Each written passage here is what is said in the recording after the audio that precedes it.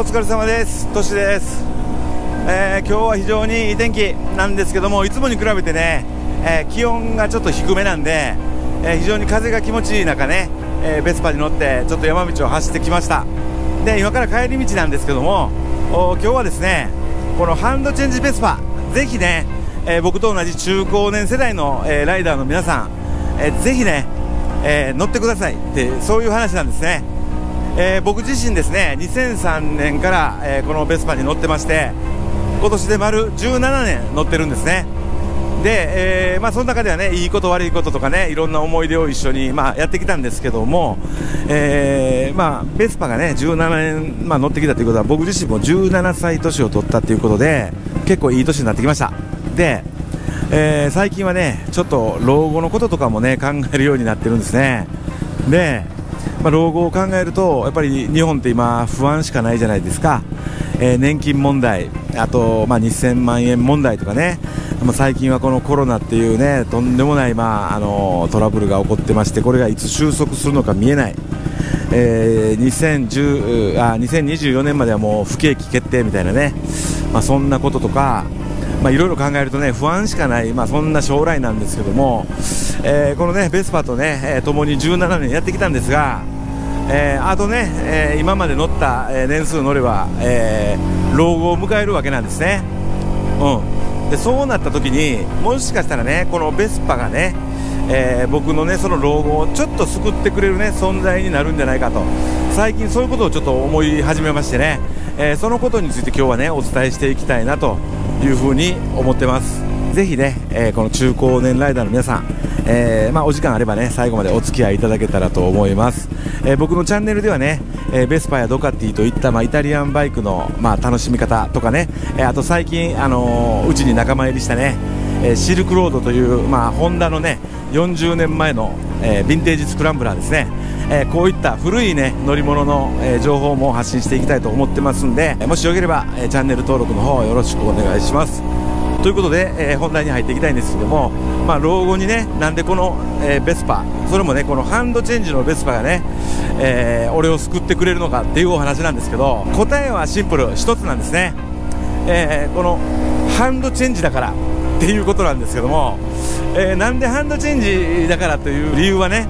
えー、1つはえー、健康的なんですね、えー、少し前に、えー、バイクに乗ることはね特にミッションのバイクに乗ることはアンチエイジングにつながりますというね研究結果が出てますという話をさせてもらったんですけども、えまさにその通りで、えこの、えハンドチェンジのベスパは、えミッション車です。だから脳にねいい刺激を与えてくれるんですね。運転しているだけで。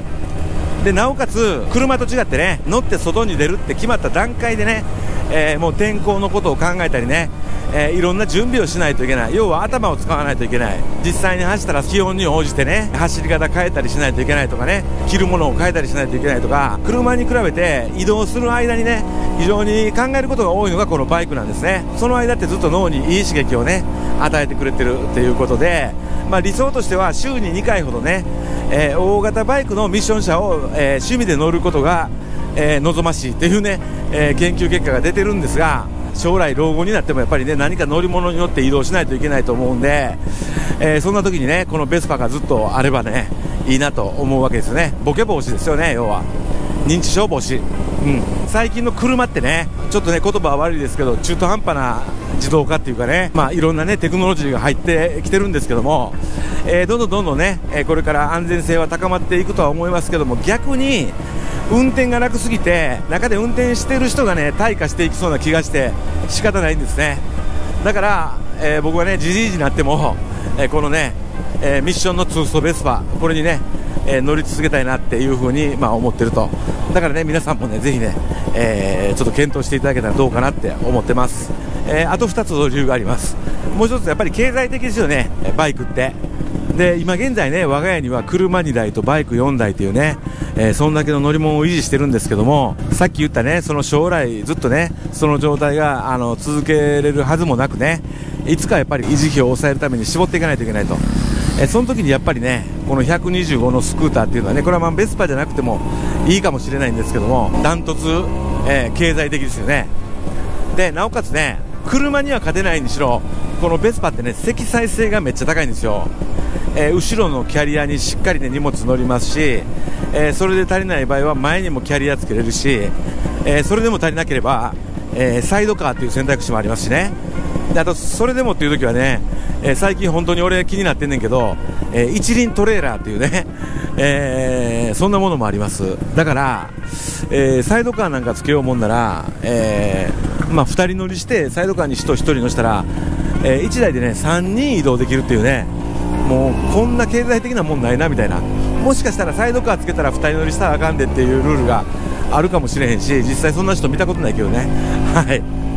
まあ、そんな意味でも将来ね、えー、の移動手段としてねこれ1であれば一番経済的かなというふうに思ってるのがまあ2つ目の理由。で最後がねやっぱりなんといってもね、えー、男女問わず年齢を問わず誰にでも似合うんですよこれ。もうこれがねもう絶対乗っといた方がいい。うん。絶対に。ただね残念なことにもうこのハンドチェンジのベスパ、えー、新車では売ってません。ただ中古市場にはねまだまだあるんでねぜひね、えー、興味のある方はね、えー、検討してみてください。ね。ただね古いバイクの場合ねやっぱりきちっと整備、えー、されてないとやっぱりねいろんなところで故障が出てくる可能性もあります。ただし作りはね本当にシンプルなんで買う時にねバシッとね専門店で完璧な整備をしてもらってるとねそうそう潰れないバイクなんでえー、結果ね長い目で見ると経済的になると思います。僕のね、えー、この BX に関しては、えー、今年に入るまで16年間故障ゼロだったんですね。でそれは最初にね完璧な納車整備をしてもらったからだったんですけども今年に入って初めてね、えー、道の真ん中で止まるっていう経験をしたんですけども、えー、キャブレターの掃除をしたらねえー、治りました。だからね、まあ、実質故障とは言わないですね。年数とともに汚れていくところがね、え、原因で、え、不調になったっていうだけだから掃除したら治ったいう話だからね。だから、え17年間故障してません。完璧な整備をしてるベスパっていうのはそんなもんなんですね、えそんな感じでねぜひ乗ってください。ということでね今日はそういう話をさせていただきました。このチャンネルにね登録いただいている方っていうのは少なからずねえー、ベスパとかそういった、ね、イタリアンバイクに興味のある方がいてくださってると思いますんでぜひねベスパのいいところ、えー、まだまだありますんでぜひ検討してみてくださいということで今日の動画これで終わりにしたいと思います、えー、ご視聴ありがとうございました。バイバイ。